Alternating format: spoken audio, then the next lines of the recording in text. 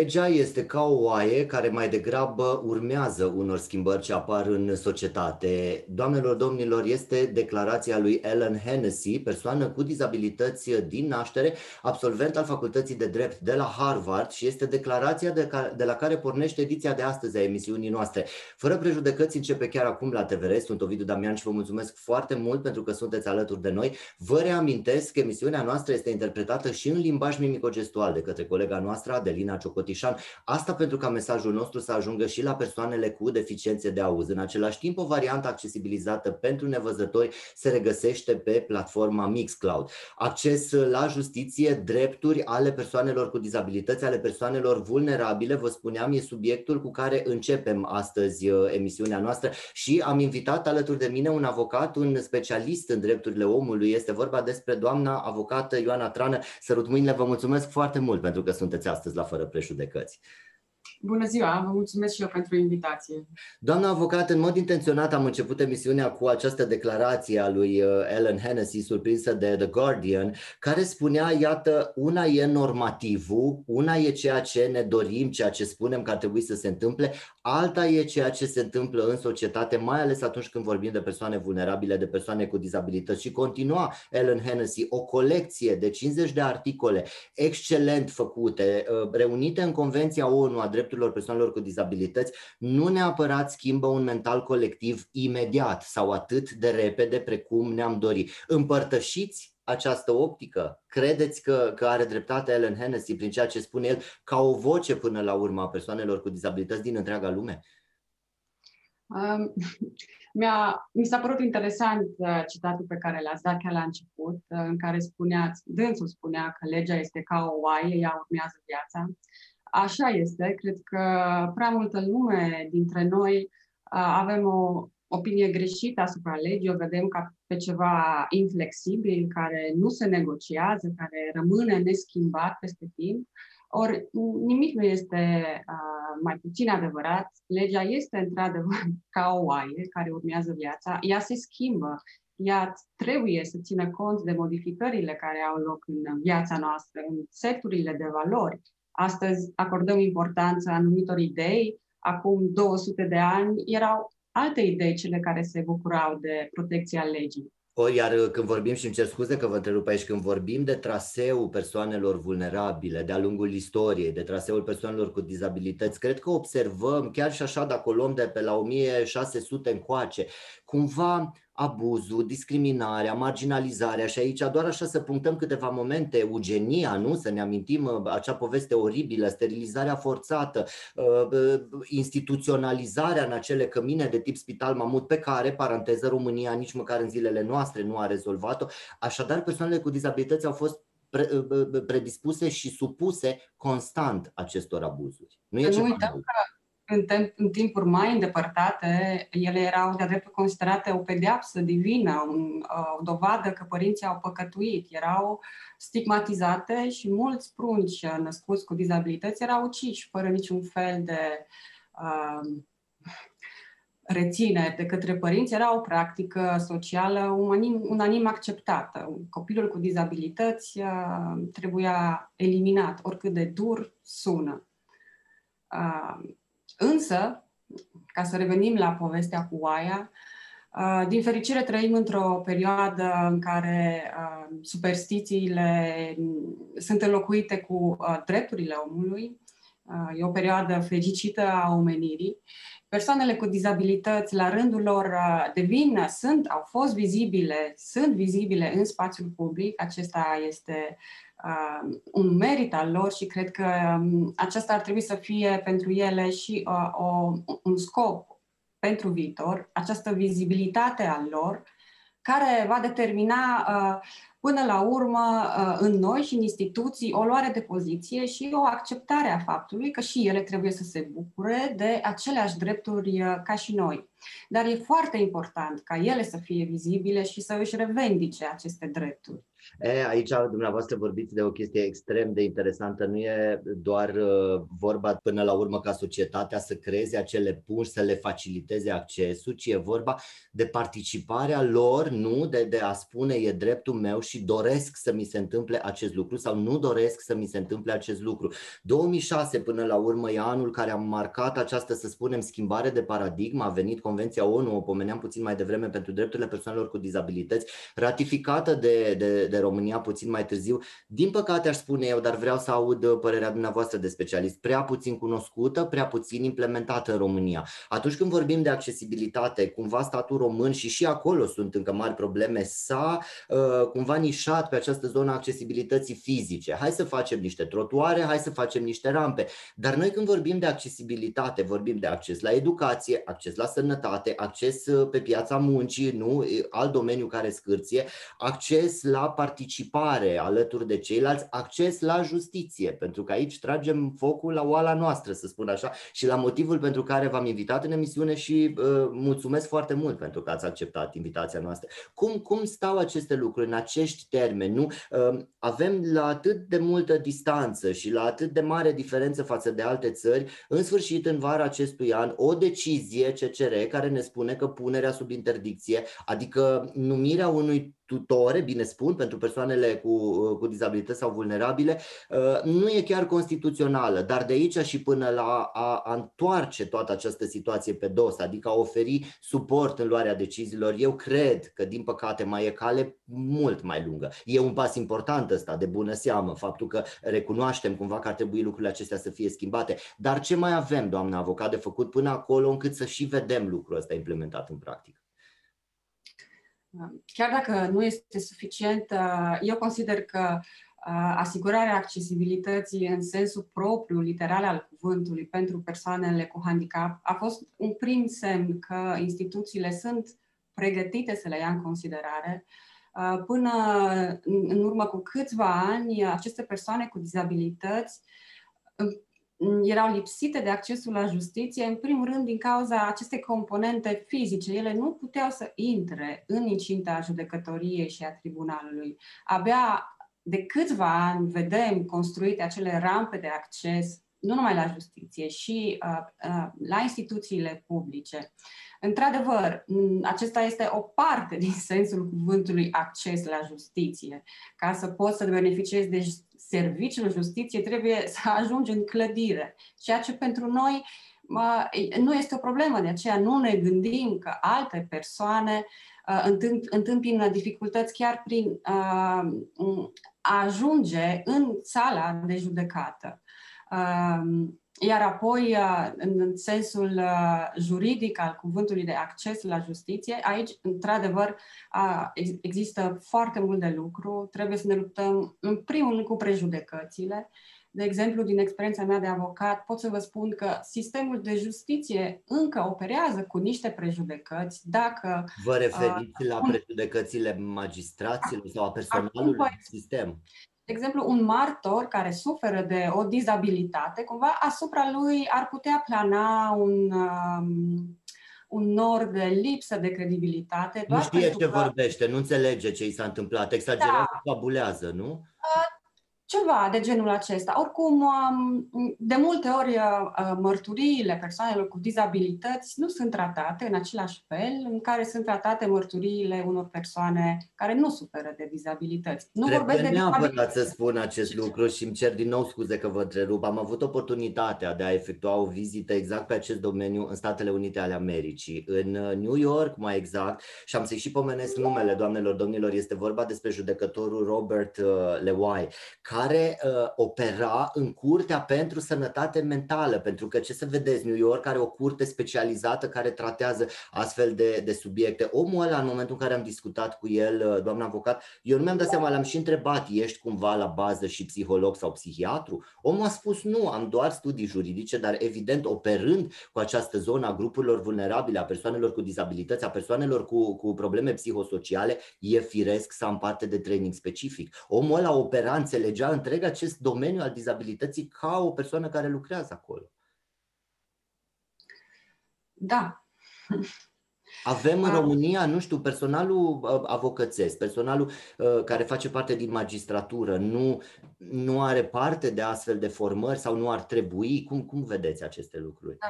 Trainingurile în sistemul de justiție sunt un, încă uh, un concept nou. Ele se fac, există, dar și accesul la aceste traininguri ale, ale persoanelor, ale membrilor din magistratură, uh, nu este încă unul uh, foarte fluent. Însă, ce vreau să spun era că, um, lăsând deoparte aceste prejudecăți pe care nu le are doar justiția asupra persoanelor cu uh, handicap, le avem noi toți, de fapt. Asta este problema. Nu am vrut să insinuez că în lumea justiției există mai multe prejudecăți decât în afara ei. Um, ați făcut referire la această decizie a, a Curții Constituționale. Acesta este un alt exemplu în care legiuitorul nu se gândește la persoanele cu dizabilități atunci când legiferează în numele, în, pentru ele. Explicați, vă rog. Da, deci, abia acum, Curtea Constituțională a stabilit faptul că modul în care legea era formulată cu privire la punerea sub interdicție nu era unul constituțional, deoarece nu respecta drepturile la viață și la bunăstare ale persoanelor cu dizabilități mentale. De ce?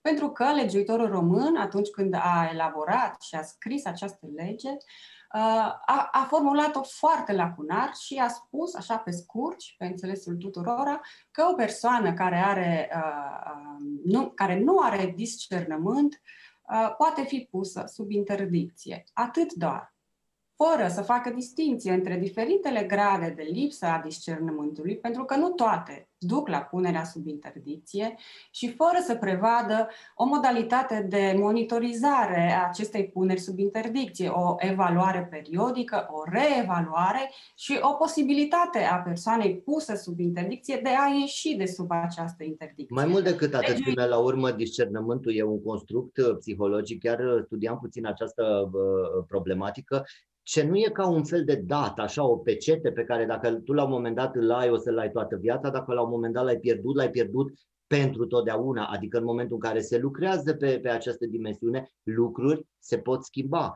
Plus că uh, aș completa ideea dumneavoastră, nu, uh, poate că s-ar fi putut vorbi inclusiv de o punere sub interdicție parțială, adică nu totală, în unele domenii uh, ar trebui să ai o persoană care să hotărască în locul tău, cum ar fi, nu știu, străinarea unor bunuri, vânzarea casei, apartamentului și așa mai departe. Însă, accesarea unor servicii, accesarea unui loc de muncă ar, ar fi putut să rămână, nu, în responsabilitatea și în puterea persoanei cu dizabilități. Sigur, dar ca să gândim așa, ar trebui să, lăs, să putem să lăsăm la o parte prejudecățile noastre și ale uh, establishmentului, ale instituțiilor noastre în ceea ce privește persoanele cu dizabilități. Dar știți că Bulgaria era... deja face chestia asta. Bulgaria face treaba asta de vreo trei ani de zile. Și, și dacă o face Bulgaria, înseamnă că ar trebui să o facem și noi sau uh, e jignitor să ne comparăm nu, cu Bulgaria? Nu, pentru că adesea mi se spune când aduc exemple în discuție, bine, vii cu exemplu Americii, vii cu exemplu Australiei, vii cu exemplu Elveției, sunt așa un fel de utopii sau niște țări, adică exact cum spunem noi la Cluj, mai trebuie să treacă foarte multă apă pe Someș ca să vedem niște lucruri, nu mai compara mere cu pere, nu mai compara România cu, cu SUA, n-are niciun rost. Înțeleg că Bulgaria, fiind vecinul nostru și deseori în competiție cu noi, uh, poate fi un referendum. Dar uh, însă și faptul că uh, Curtea Constituțională a decis că această lege trebuie modificată este, este un semn bun, este un pas înainte. Să fim totuși optimiști.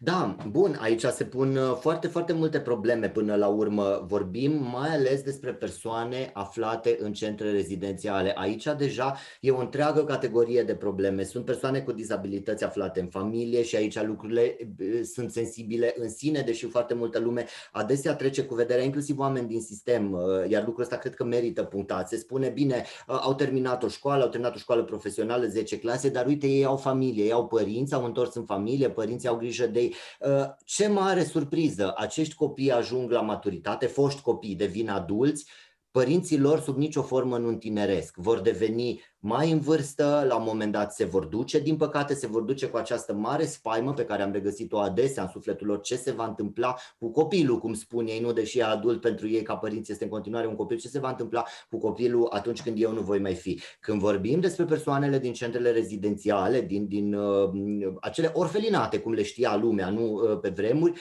care adesea au așa un traseu. În uh, perioada 0-18 ani au fost într-un centru pentru copii, au trecut într-un centru de adulți. Cum, se, cum vorbim acolo până la urmă de acces la viață independentă, la viață, chiar la viață de familie, pentru că neapărat vreau să dedic la final câteva minute și acestui uh, aspect în intervenția cu dumneavoastră. Cum se respectă până la urmă drepturile omului în astfel de instituții? Ele sunt numite de protecție.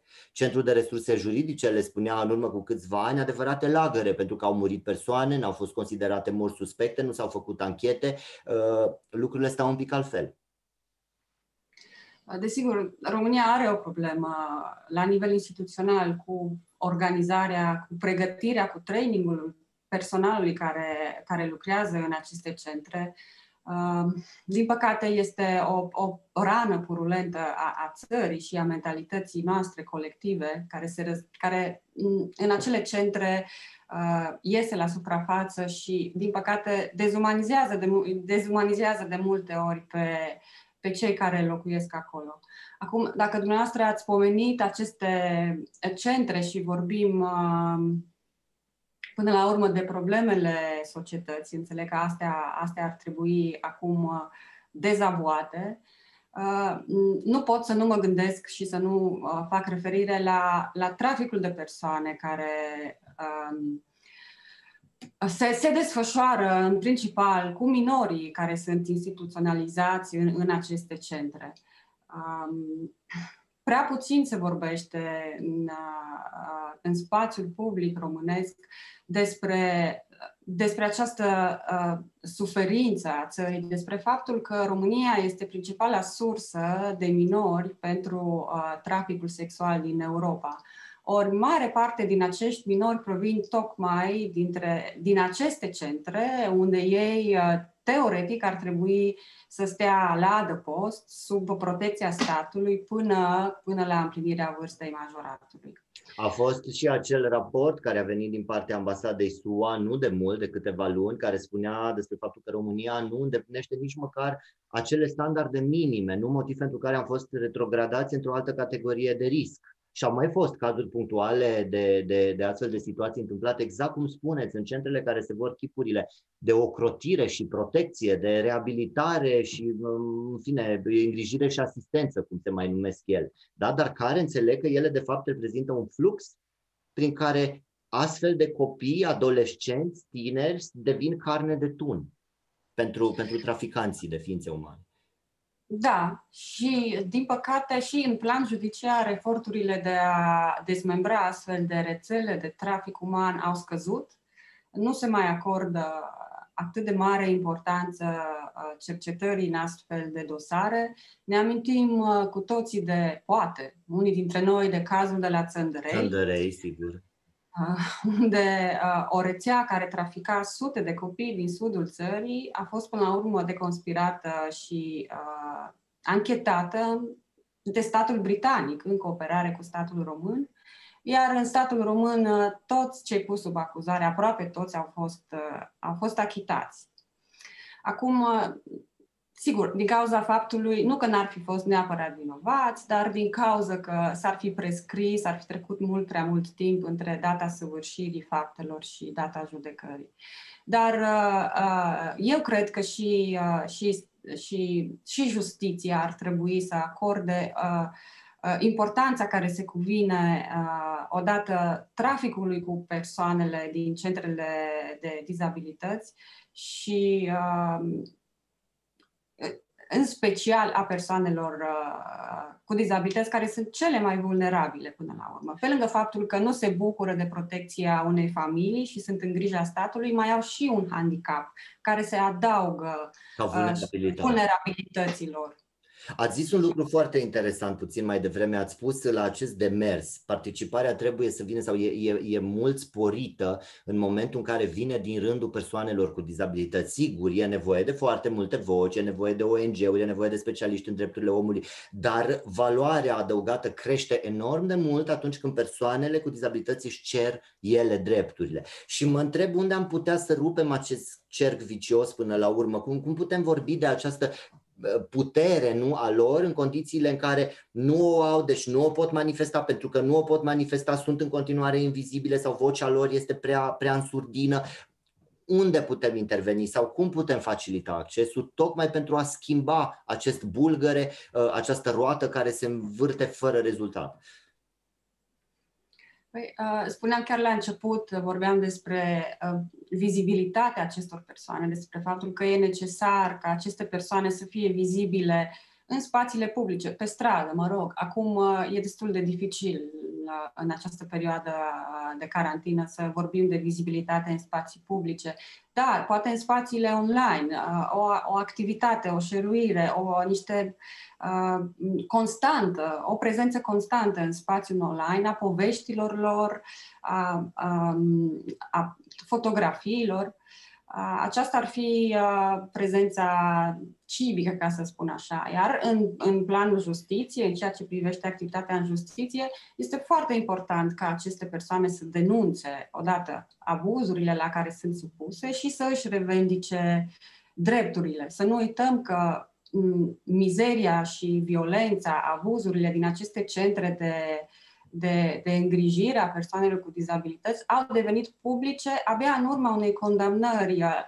a Curții Europene a Drepturilor Omului asupra României. Vă referiți când... la cazul Valentin Câmpianu, probabil, tânărul care a murit de HIV, mă da. rog, SIDA, complicațiile 2004, dacă nu mă șel, e acel caz în care până la urmă tânărul acela a murit de foame. Personalul medical, e vorba despre centrul rezidențial de la Poiana Mare, e cazul chiar documentat de către cei de la centrul de, de resurse juridice nu l-au hrănit de frică uh, să nu se infecteze.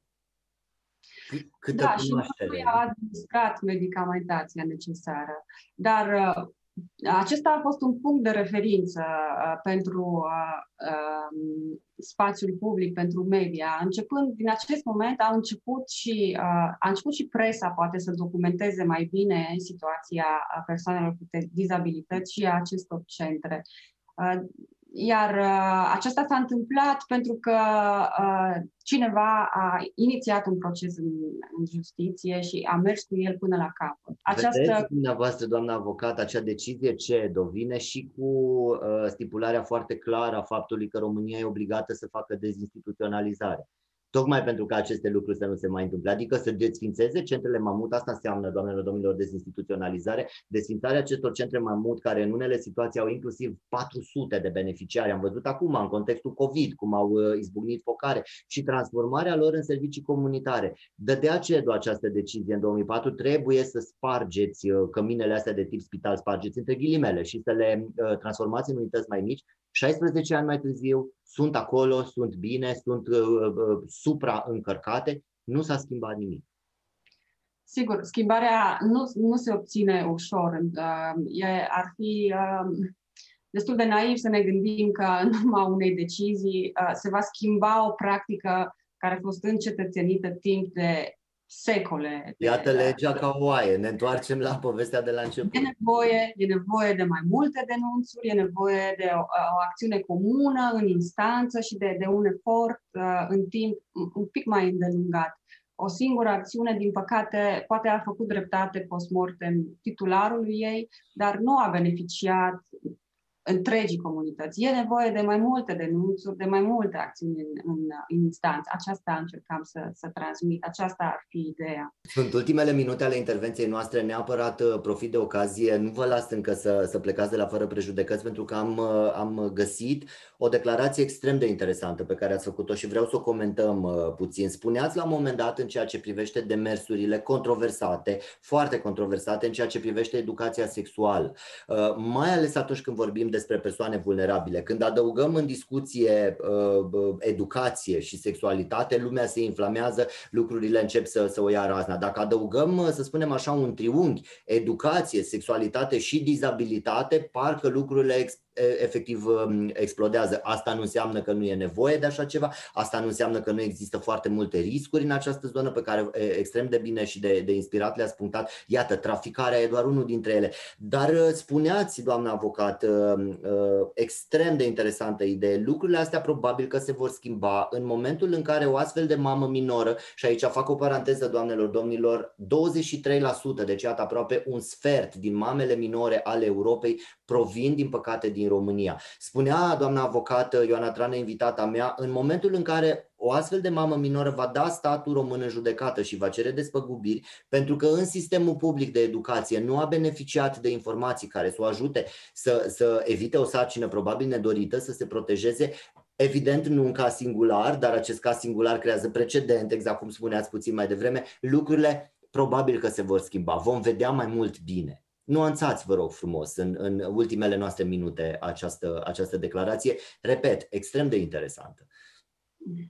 Da, poate că ideea pe care am vrut să transmit uh, este că justiția nu trebuie să beneficieze neapărat doar persoane care are o problemă în justiție, care vrea să divorțeze sau care se ceartă cu vecinul sau care uh, are o problemă cu cineva. Justiția ar trebui să o putem privi și ca un instrument de inovare în viața noastră, de a determina statul să uh, ia în considerare niște idei pe care inițial le respinge. Uh, și aceasta înseamnă, um, uh, aș putea să zic, o cultură a denunțului. Trebuie să denunțăm lucrurile pe care uh, noi constatăm că nu sunt, uh, nu sunt în concordanță cu legea ori cu așteptările noastre legitime. Făcând constant aceste denunțuri, noi putem să schimbăm o politică publică. Justiția nu servește doar uh, împărțirii dreptății între noi și vecini și uh, doar dezlegării unor probleme ale noastre personale. Justiția poate fi un vehicol pentru progres.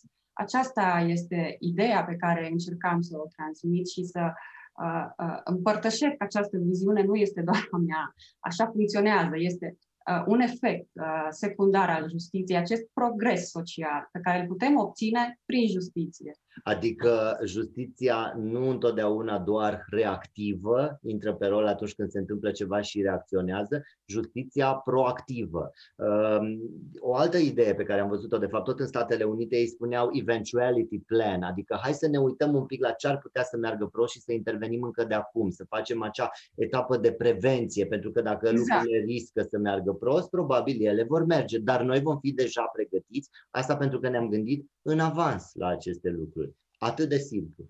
Exact, această funcție preventivă a justiției, mă rog, la noi ea deja trebuie să trateze o boală deja instalată și care ne, ne face să ne târâm picioarele după noi. Noi nu, nu suntem cu educația sexuală în faza de prevenție, noi deja am dezvoltat simptome și suntem bolnavi, trebuie să o tratăm.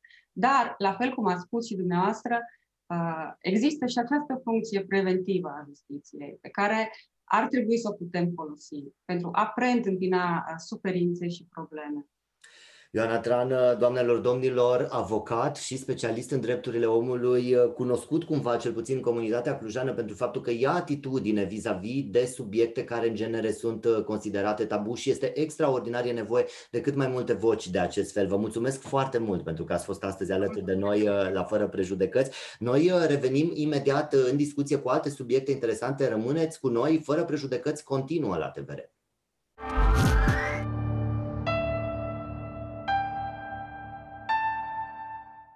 Am revenit în discuție, stimați telespectatori, fără prejudecăți, continuă la TVR și vorbeam de accesibilitate, de dreptul persoanelor cu dizabilități la viața publică și privată. Rămânem în uh, această zonă. Dreptul la ocupare pe piața muncii este subiectul despre care discutăm chiar acum cu invitatul meu. Îl cunoașteți deja pentru că am mai fost la Fără Prejudecăți. Te salutăm, uh, Radu, îți mulțumim foarte mult pentru că ești astăzi alături de noi. Radu Ștefan, doamnelor, domnilor, e cel care vine cu o specializare practic din domeniul domeniul tehnologiei informației, dar și-a pus la dispoziție priceperea, și-a pus uh, la dispoziție abilitățile lui pentru a ajuta persoanele cu dizabilități să fie prezente pe piața muncii, adică să aibă un job, să poată participa activ în societate. Platforma potlucra.eu, să spunem așa, Radu, poartă semnătura ta, e proiectul tău uh, micuț, nu, cu care ai început, sau mai mic, să spunem așa, cu care ai început în urmă cu, cu câțiva ani și pe care de altfel l-am prezentat la Fără Prejudecăți ai mers mai departe, gândești mare acum, să spunem, nu? E vorba despre o da. inițiativă da. mult, mult mai cuprinzătoare și abia aștept să ne dai detalii. Te ascultăm. Mulțumesc de invitație. Da, proiectul podlucra.eu a fost așa copilul meu de suflet, lansat acum ceva timp, la o, la o scară mai mică, să spunem. Uh, dar de curând uh, există o inițiativă mai mare. De, de săptămâna trecută, acea platformă de, de vânzare a obiectelor second-hand are și o secțiune special dedicată angajării persoanelor cu dizabilități. Uh, și deja... asta e ideea ta, nu? E ideea ta și a echipei împreună cu care lucrezi. Uh, da, este, este ideea mea și cu ajutorul echipei am reușit să, să o implementăm uh, la nivelul întregii companii, să spunem, astfel încât să o putem lansa, lansa național. Desigur, colegii mei sunt, uh, cum să spun, sunt tot timpul deschiși la noi idei, iar pe zona de responsabilitate socială tot timpul, dacă putem să facem ceva, facem. Nu contează că suntem acum poate mai mai atenți că suntem într-o companie mai mare sau într-o multinațională, dar uh, deschiderea este foarte mare și ajutorul lor este nespus de, de bun lucrurile Radu, se mișcă o primă mai bine. Întrebare. Neapărat vreau să stabilim încă de la început acest lucru. E vorba de un anume profil al joburilor, pentru că știu adesea în acest domeniu al dizabilității unele persoane spuneau da, am găsit ceva joburi sau am fost la anumite târguri pentru forțe de muncă, însă joburile pe care uh, oamenii aceia sau companiile respective le promovau acolo nu aveau nicio treabă cu domeniul meu de calificare sau erau joburi pentru care necesitau acces la învățământul superior, ori mare parte din persoanele cu dizabilități nu au, din păcate, această șansă, sau uh, vorbim de persoane cu dizabilități care nu aveau studii masterale, chiar studii de doctorat, însă ceea ce găseau erau niște, niște joburi care presupuneau abilități pe care ele nu neapărat le, le aveau. E o paletă completă, complexă, largă, sau cum să-i spun, sau ați mers nișat pe, pe anumite categorii? Uh, în acest moment nu, nu am mers nișat. Într-adevăr, uh, să spunem că joburile inițiale pe care, pe care le avem postate uh, sunt ale partenerilor cu care deja avem o relație de colaborare, dar cu toate astea am avut surpriza ca în ultimele două zile să se adauge și destul de multe joburi noi. Chiar și noi în companie am postat un anunț de, de angajare și ne dorim să găsim pe, pe cineva care să se alăture și echipei noastre. Uh, nu, vorbim de o paletă cât mai largă, ne dorim să atingem uh, național uh, toate joburile din zona de, nu știu, retail, chiar acum mă uitam, este și zona de marketing postată, sunt două anunțuri postate cu lucruri de la birou sau de acasă, este zona de game testing, care a fost deja atacată cu, cu un job, Uh, chiar și zona de Horeca, prin, uh, prin joburi de ajutor bucătar. Deci cumva... Deci cumva înțeleg că inițiativa voastră, deși e foarte proaspătă, e caldă, am putea să, să spunem acest lucru, a ajuns deja la persoane cu dizabilități care uh, își căutau un loc de muncă. Uh, da, deja a ajuns, am uh, cumva direcția a fost uh, de a comunica la un nivel cât mai larg, am mers pe, pe toate canalele de comunicare. Uh, chiar înainte să, să povestim acum mă uitam și am văzut că surprinzător deja pentru majoritatea joburilor postate sunt deja și aplicări. Ok, bun, foarte important că am ajuns în acest punct. O persoană cu disabilități caută un loc de muncă, e prezentă pe rețele de socializare, intră pe site-ul de anunțuri și vânzare de obiecte format din, din trei litere, ca să spunem așa, ajunge la voi, află de această oportunitate. Ce trebuie să facă mai departe? Cum se desfășoară acest uh, proces? Depune undeva online, mă gândesc un CV sau... Te rog frumos să ne treci așa puțin prin, prin această procedură, care mă gândesc că e simplificată și ea și adaptată persoanelor cu Da, da, da, da. Este uh, procedura oricum, în general, pe zona de aplicare la noi e destul de simplă. Într-adevăr, este, există nevoia creării unui cont pe platforma noastră. Asta ar fi singura particularitate, dar cât timp fiecare persoană are o adresă de e-mail, contul se poate crea fără probleme, iar acolo, de acolo există mai multe variante. Sunt uh, angajatori care poate, într-adevăr, vor vrea aplicări pe linkurile lor externe și atunci vor merge în site-ul angajatorilor, dar variantele cele mai simplificate sunt efectiv trimiterea unui mesaj uh, către angajator prin care se poate atașa și un CV sau se poate menționa doar îmi doresc să lucrez, Uh, îmi doresc să aflu mai multe detalii despre job și este ca o conversație pe care, nu știu, noi doi o putem avea printr-o mesagerie. Uh, există și uh, angajatori care și-au pus direct numerele de telefon în anunț și pot contacta direct telefonic să discute cu, cu o persoană reprezentativă a companiei lor. Deci totul este cât mai simplificat în ideea în care trebuie doar să trimită un mesaj, să afle mai multe detalii, iar acolo, iar de acolo procesul de recrutare poate începe. Vreau să te întreb, Radu, vorbim despre o acoperire națională, vorbim de anumiți poli, nu știu, uh, e cumva mai vizibilă platforma sau mai, mai prezentă oferta în orașe mai mari, să spunem, nu știu, în Timișoara, Cluj, Iași, celebri poli, nu așa, ai României, sau reușiți cumva să ajungeți și la orășele mai mici? Știm, acolo nevoia uneori e și mai mare, însă din păcate și mai greu de, de satisfăcut. Noi am plecat în această călătorie cu, cu ideea de a targeta național, de a ajunge la un nivel național cât mai mare și de a atinge și polii mai mici. Cu toate astea, chiar dacă deja avem câteva joburi postate pentru poli mai mici, de exemplu cum ar fi, nu știu, Alexandria, în, în Telorman, sunt uh, și pe Suceava am văzut, sunt și localități mai mici, dar într-adevăr, cred că la început, până va afla lumea de această posibilitate și va afla toată lumea, o să fie, să spunem, preponderent joburile din poli mai mari, targetul fiind să atingem și poli mai mici pentru a, a fi prezenți acolo și a, a ajuta să facem această conexiune între persoanele cu dizabilități și angajatori și în polii mai mici. Pomenea, doamnelor, domnilor, Radu, puțin mai devreme despre momentul în care ne-am întâlnit pentru prima dată. Vorbeam despre platforma podlucra.eu, copilul de suflet, așa cum, cum îl numea. Știm, în acea perioadă, acum trei ani de zile, nu stătea deloc bine situația în România în ceea ce privește angajabilitatea persoanelor cu, cu dizabilități. Au venit apoi foarte multe legi, foarte multe schimbări legislative care dincolo de faptul că n-au adus nimic uh, bun în această zonă, n-au facilitat uh, angajarea, n-au crescut uh, sub nicio formă rata angajabilității în România pentru această categorie de persoane. Din potrivă, cumva lucrurile au fost și mai complicate. Vine, iată, această inițiativă acum, în spatele căreia se află Radu și echipa sa, au lucrat împreună. Ce te aștepți, Radu? Care crezi că va fi impactul? Vedem, în sfârșit, până la urmă, o situație în care persoane cu dizabilități pot efectiv să acceseze acceseze joburi și să rămână angajate acolo. A fost și această discuție. Sigur că uh, oricât am crea noi uh, în această zonă a joburilor, persoanele cu dizabilități nu sunt atât de dispuse să-și lase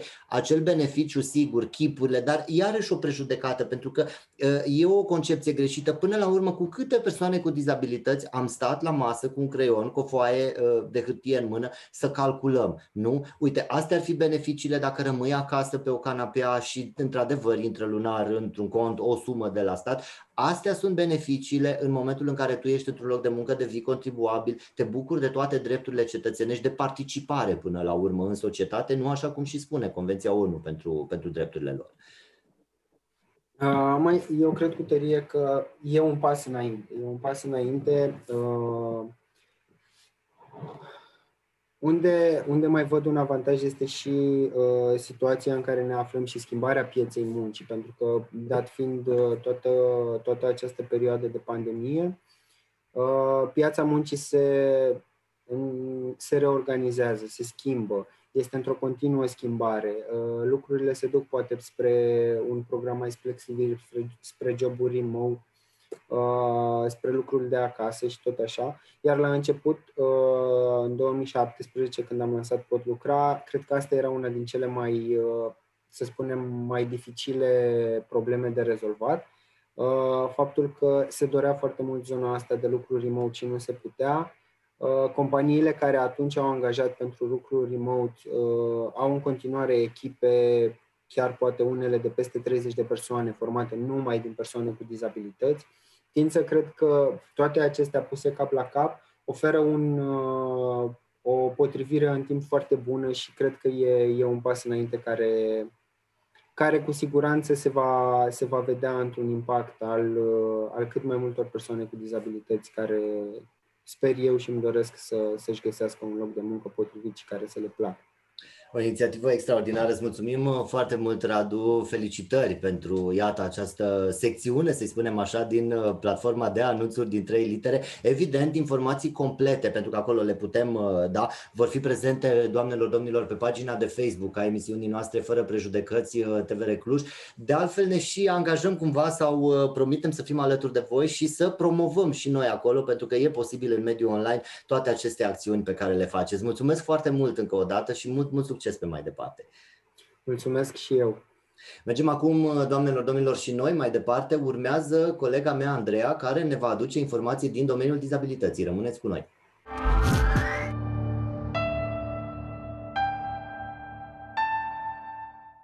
Am revenit în discuție, doamnelor, domnilor, și vă spuneam, Andreea e pregătită să ne ofere informații din domeniul dizabilității. Te salutăm, Andreea. Bine ai revenit alături de noi. Vă salut și eu și bine v-am regăsit. Ce ai pregătit pentru astăzi? Am pregătit un subiect destul de complicat, sperăm să reușim să ajungem de la un capăt la altul, un subiect pe care parțial l-am mai discutat noi. Este vorba de alfabetul culorilor, um, dezvoltat de un clujan pe nume Paul Tudor Scripor, pare mi se. Uh, acest Am alfabet... la un moment dat, uh, cred că era cu vreun an, un an jumate, doi, inclusiv la fără prejudecăți, de această idee. Atunci era la nivelul de idee, această uh, unealtă, să-i spunem, nu sau acest instrument. Aceasta, da, era în, în acel moment la nivel de idee. Teoretic, în momentul de față se află în stadiul de implementare, dar uh, am fost contactată de un reprezentant al Asociației Nevăzătorilor care a contestat câteva aspecte destul de importante privind tocmai această parte de implementare. Hai adică, să luăm de la început. Mai exact, exact, asta vreau, să te rog să, să pornim cu începutul.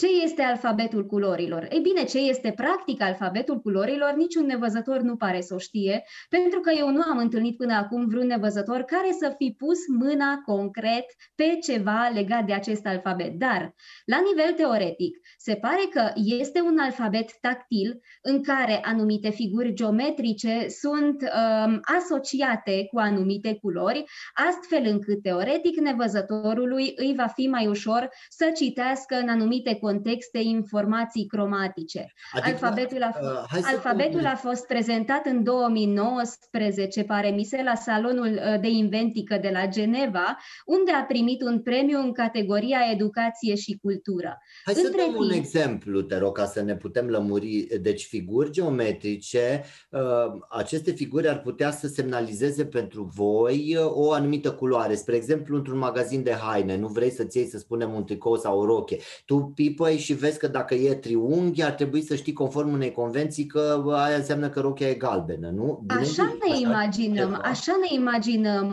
ori pe anumite hărți tactile, machete ale clădirilor oficiale. Dar după cum ți-am spus, noi tot ce știm este doar ceea ce ne imaginăm și ceea ce citim în presă despre acest alfabet. Ori presa a scris într-un stil extrem de encomiastic. Oamenii au vorbit de sisteme care vor revoluționa viața nevăzătorilor. Ori reprezentantul asociației cu care am vorbit eu a atras atenția asupra câtorva puncte de vedere destul de interesante. În primul rând, oportunitatea. Hai să vorbim despre faptul că dacă ne place sau nu, aici știu sigur că sunt nevăzători care nu sunt de acord cu mine, dar alfabetul Braille, la oaltă cu, alfabetele, uh, cu alte alfabete tactile, alfabetul Braille este în declin. În ultimele decenii nu s-a mai folosit datorită tehnologiilor asistive la fel de mult ca înainte. Bine în al doilea rând, există deja dispozitive digitale, uh, oricam sau aplicații pe telefoanele mobile, care îi permit nevăzătorilor următorului să detecteze culorile într-un magazin. Ori, tu ce părere ai dacă magazinul va putea alege între a investi într-o adaptare, ori a lăsa pe nevăzător să se descurce cu tehnologiile pe care le deține, fără să investească în această adaptare, tu ce crezi că va face un magazin? Da. Eu, dar eu vreau să te întreb uh, exact pe această idee. Cum, cum, hai să luăm cazul tău, că întotdeauna asta îmi place în, în discuția mm. noastră, că ne putem uh, referi la cazul tău concret. Tu cum, cum făceai până acum în ceea ce privește culorile sau cum faci în lipsa acestui alfabet scripor? Sau, ha, bine, tu ai uh, oricam, mai ai, dar dacă nu l-ai avea acel dispozitiv sau cum, cum a fost în trecut? Cum, cum, cum știai aceste lucruri?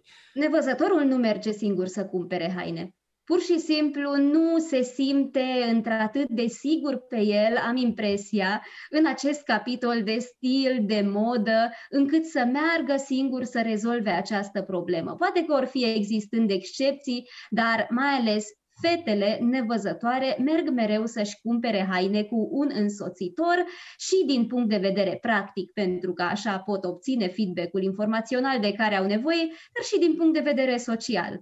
E destul de plăcut să mergi la cumpărături în grup și să trâncănești între timp despre hainele respective. Și înțelegem că, de fapt, nemulțumirea în acest sens, legată de, de acest tip de alfabet, să-i spun așa, e legată de faptul că persoanele nevăzătoare, adică exact beneficiarii, asta încerci tu să spui prin vocea reprezentantului asociației, nu au fost consultate, nu au fost consultați. Prima nemulțumire față de acest alfabet vrea să spună faptul că beneficiarii s-ar putea să nici măcar nu aibă nevoie de el. Alfabetele în relief de acest gen au precedat alfabetul Braille, așadar au fost la modă cam acum 200 de ani pe vremea lui Valentin Aui.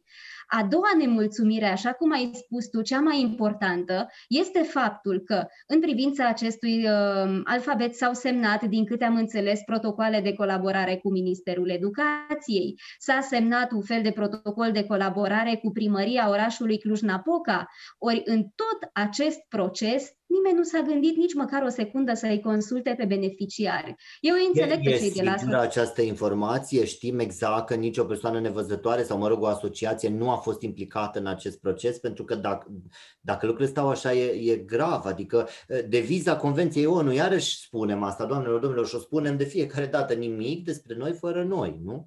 Atât îți pot spune, știu sigur că alfabetul nu a fost prezentat în cadrul Asociației Nevăzătorilor din România și nici în cadrul Liceului Special pentru Deficienți de Vedere din Cluj.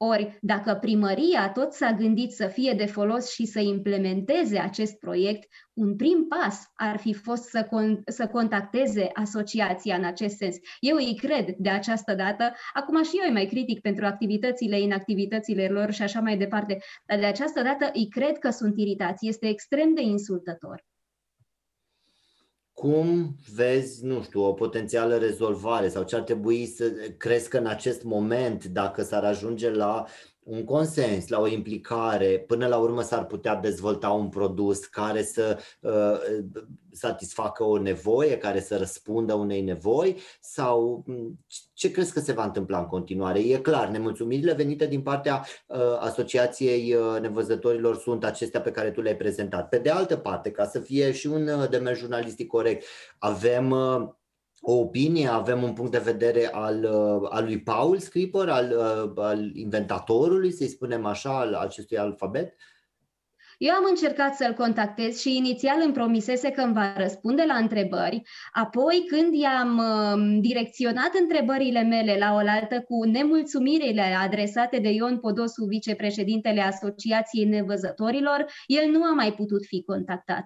Am făcut tot ce se poate pentru a include și punctul lui de vedere în această discuție, dar se pare că atunci când vine vorba de o discuție, face un pas în spate tocmai de la acești beneficiari cu care ar trebui să discute.